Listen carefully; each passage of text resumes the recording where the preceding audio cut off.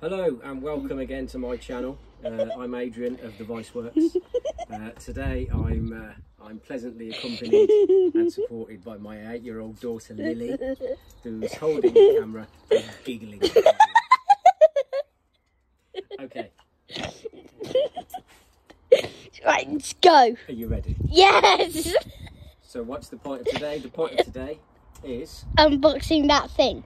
unboxing and a demonstration uh, of this Stanley Max Steel multi-angle vice. As a lot of you know, I don't do new vice. Um, I run a small business uh, refurbishing uh, British uh, vintage vice and selling spares. I wouldn't say small, it's pretty big. Some of them are big. Um, however, I've been getting quite a lot of emails uh, and messages from people asking if I supply these Stanley uh, ball vice, which I don't. Uh, and before we go any further, I don't have any connection with Stanley, Black and Decker, or any other commercial entity. I don't sell them. However, when I was down uh, our local um, farming supplies uh, shop, Mole Valley in Yeovil, uh, this little this little thing was in the clearance bucket so I picked it up for the pricely sum of 23 pounds and 16p Uh, Daddy. minus 25% Okay, fine.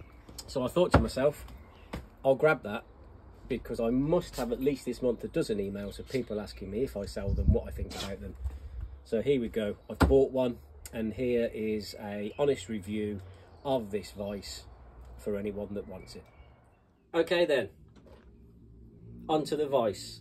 Firstly, um, packaging. Uh, the vice itself is not actually packaged entirely, um, and I think the reason for that is the packaging is supposed to demonstrate the vice clamped to a bench holding a piece of timber. Um, however, to the detriment of that packaging, I have noticed a number of chips around uh, the paintwork is that a problem?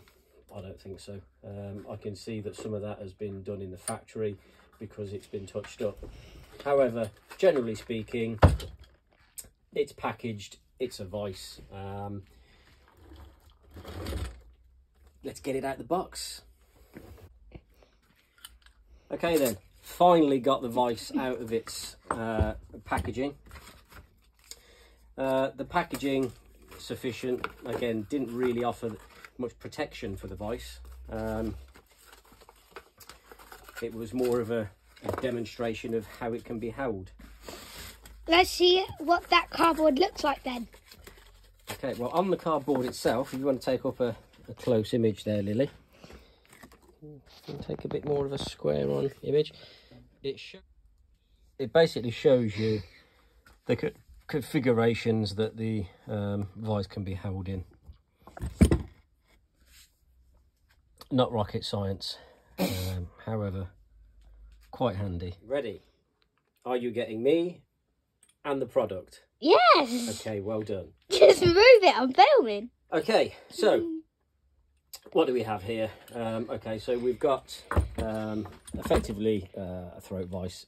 This is designed to be held on a bench like so and held with the lead screw, the turn screw to secure it to the bench. Straight away I'm thinking about quality, what's it made from? Um, to me it feels like it's made from a, a die cast uh, alloy steel, um, possibly an, al an aluminium, haven't checked that really, uh, I've just opened the box. Um, Oh, it's a twist like that. Cool. Effectively, that is the vice and that's how it's supposed to work. The vice locks into position by screwing this lead screw, which effectively clamps down on the ball into your desired location. Okay, so what have we got? The jaws of the vice, that's at their maximum extension. What are we? 60, 68 millimeters, uh, just under uh, two and three quarter inch, um, and in width, nominally three inches, 75 millimeters. Um, this particular vice runs on a couple of guide guide bars um, with a what looks like an M10 screw. Um, it's pretty free. Um, there's no overdue force required. Um, I've, I've put no additional lubrication on this. However, he is starting to bind.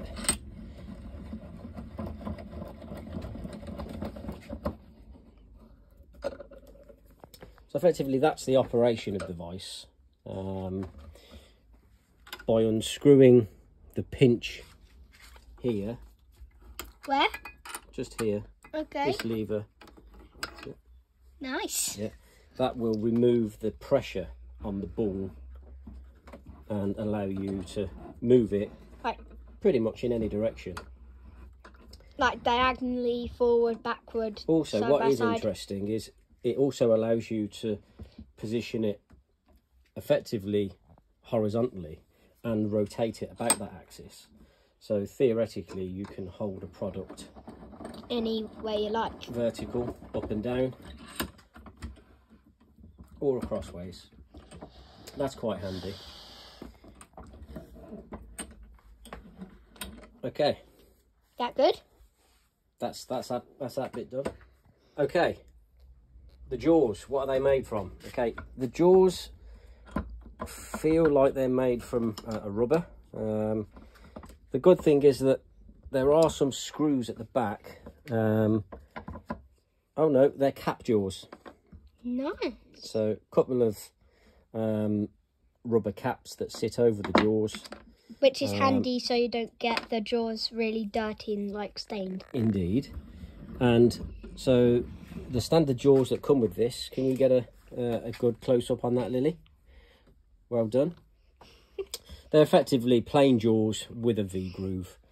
Uh, very handy, um, I would suggest, if you were working on, um, you know, small items um, such as Screws. um, a screw or a, a small axle. What should be said is these vice really are made for, you know, small hobby craft engineering. Um, you're not going to be um, whacking these with sled sledgehammers. Um, so there are there are the jaws. Backlash in the lead screw. Well, it's a it's a standard 60 degree uh, metric thread. You're not going to be able to put too much pressure on that. If you did, it would quite clearly strip the threads. Um, but it's not made for that, uh, and it shouldn't be used for that. Um, let's have a look at the overall quality of it. Um, the ball, Which one? The the ball? ball here Yep. feels good. Um, when I've tightened that down, I seem to be, I seem to get some pressure on it. Seems pretty good. Um, the screw here for the uh, for the throat, effectively to secure it to the uh, the bench. One thing I have noticed, I don't know if you can see that, Li- Lily. It's like uh, loose. It's extremely loose. You need to tighten it. Um, the the problem is the end float uh, on that screw. Um, It's not great. I would suggest that the thread in the in this casting is most probably oversized by some margin. Um, and looking at that, I would say that that is most probably going to be its Achilles heel. I would suggest that that steel uh, threaded screw with a little bit of force, once you've secured that, if you want to tighten it up, I'd be very, very concerned about Oh, but now it's stable on the bench. Maybe it's supposed to be like wiggly woggly. Then. again, I think that the the message for this vice is it's not for heavy duty applications, is it? It's effectively a third hand. It's there to hold something while you're working on it. like to ungrease something like a screw Yeah, or yeah, one of these yeah. screwdriver. Well, I think it's more to little model engineering, um, small, small components. Um, not the sort of ice that Daddy generally works with. Would you agree? Yeah. Okay, so other functions on it. Well, that that is it basically. It's a. It seems reasonably well made. Um, I would have liked to have seen a better machined thread uh, within the casting given time or a little bit of over tightening there it's just going to strip the thread inside that casting. Um, but again So well done, Vice. is it fit for purpose? Yeah, Yeah. i would say it is. Um, it's a, a die cast product by the looks of it. Um, it seems well made. Uh, is it something that i'll keep on my workshop bench in the unit Probably. Probably, actually, yeah. Um, I'm reasonably impressed by its quality um, overall. Um, haven't used it yet. You- We'll get it in the workshop tomorrow, Lily.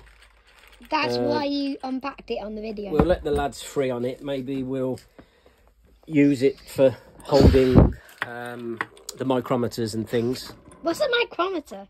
the measuring devices uh, when we uh, calibrate them. Uh, but yeah, uh, all in all, It's a it's a nice little vice. Um, you know, it's it's cheap, um, but for your money, can you? What I mean, what else? I mean, I paid what with the discount, seventeen pounds plus V- VAT. Um, it's not going to last you forever.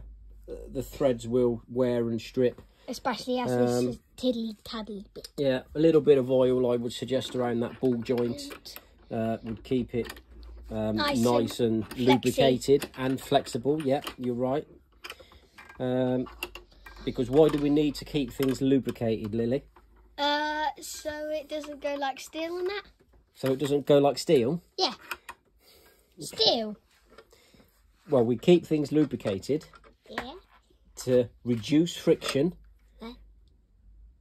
Minimise wear,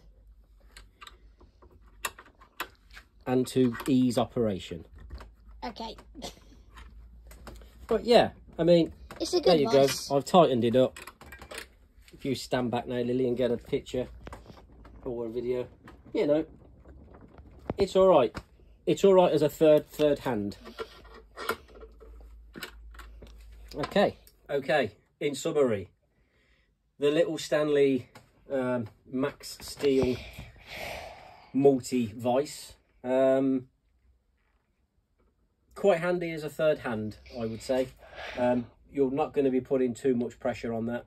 Um, the lead screws um, are just standard um, kind of 60 degree uh, metric thread um, and the castings, the threaded castings do look like they've got quite a lot of backlash in, in them um, and then float.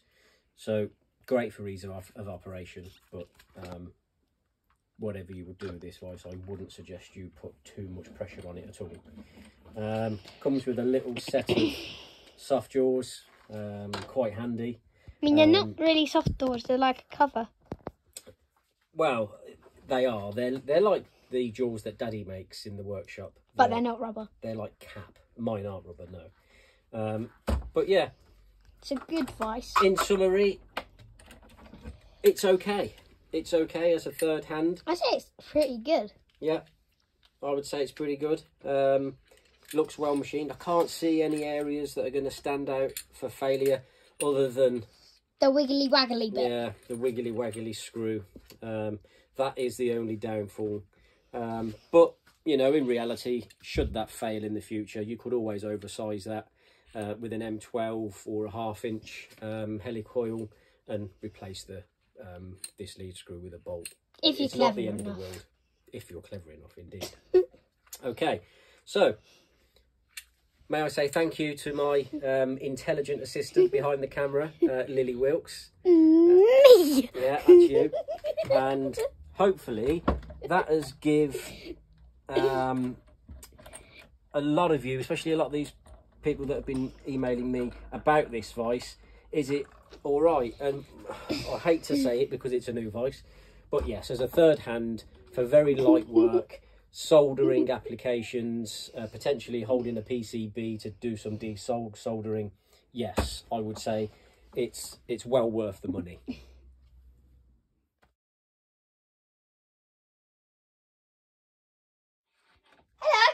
Lily Wilkes, and I was behind that camera when Daddy was doing the this voice. And I think the voice is very well made, and I like the ball bit. Daddy, how do you do the ball bit again? You undo that lever. This one. Yep. Undo it. That's it. Go on. Right, and then you move the ball thing. Yeah. And you can move that to any position you want. Yep, like this. I like the ball thing is my favourite. It is quite a handy little piece of kit, isn't it?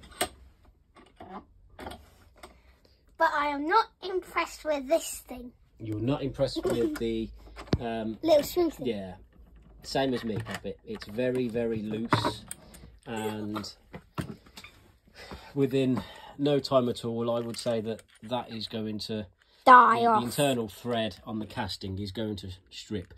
However, not everyone will be moving this vice every other day. So if it goes onto a workbench and it stays there for a long time, you don't need to operate it too often. what do you reckon? I don't know. Yeah. Okay. Well, this is um. I've still got something Oh, to say. apologies, You know. little lady. Go on then. Right. You may recognise me if you've watched my YouTube channel, And what's your YouTube channel? Lillian Bear. Lillian Bear. And what does Lillian Bear do? They do fun kid stuff, They do fun kid stuff. Like right. about snails and I love Harry Potter stuff, so you might have seen a lot of Harry Potter stuff in my YouTube videos. Well and done. I honestly think this price is hmm, yellow It is yellow. and black. That's because it's it's Stanley, and the manufacturer of, Stanley, I believe, also own DeWalt, and their trademark colour is that colour. Um, But yeah, okay. Anyway, say bye bye to everyone, Bye bye. and see you later. And I hope you subscribe to my dad's channel, Which is The Vice Works. the Viceworks. www.viceworks.co.uk.